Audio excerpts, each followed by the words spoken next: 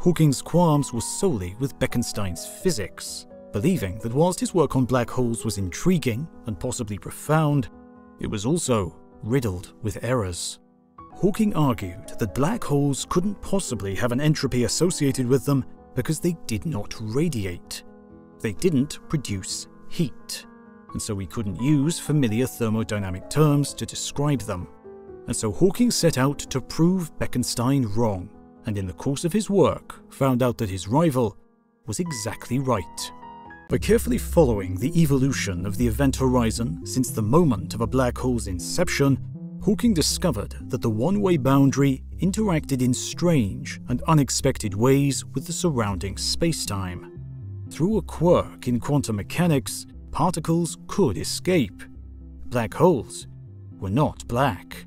They emitted, ever so slowly, a tiny amount of radiation.